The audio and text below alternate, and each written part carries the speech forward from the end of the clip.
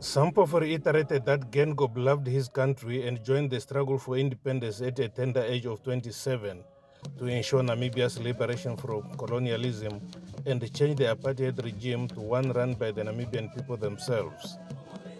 He stressed that since joining the liberation struggle in the early 1960s, Dr. Geingob served the SWAPO party in numerous countries and continued to do so after independence in key and challenging positions up until his death.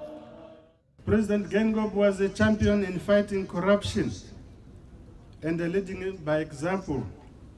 He declared his family's combined wealth. That is transparency. He was also very popular in fighting tribalism and as a unifier called for unity in diversity and inclusivity which he termed that everyone must be inside the Namibian house and no one should be left out. That's the mantra. Dr. Hage Geingob was a seasoned diplomat and Pan-Africanist. He advocated for the liberation of Sahara from oppression by Morocco and Palestine for self-determination from apartheid Israeli regime.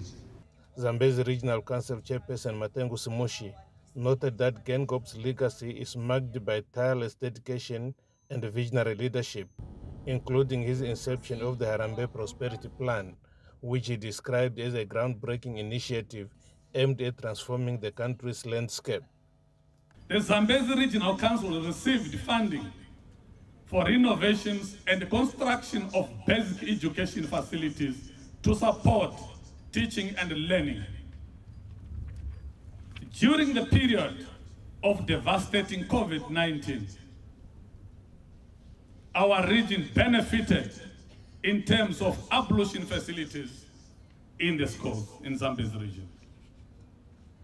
In addition, the region uh, have seen the construction of pre-primary classrooms. During the academic year 2022, the President committed to the provision of classrooms across the country, to which Zambezi region was allocated 100 classrooms. Katima Mulilo Town Council and Bukalo Village Council also held Geingob.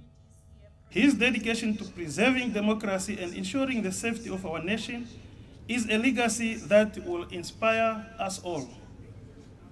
In the face of adversity, President Geingob remained steadfast in championing democracy, equality, and human rights.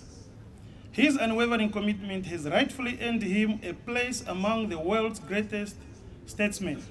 President Geingob's leadership and vision steered the country through both challenges and triumphs, leaving behind a legacy of progress and unity. His people-centered approach to governance aimed to ensure an improved quality of life for all Namibians, especially the most vulnerable member of society.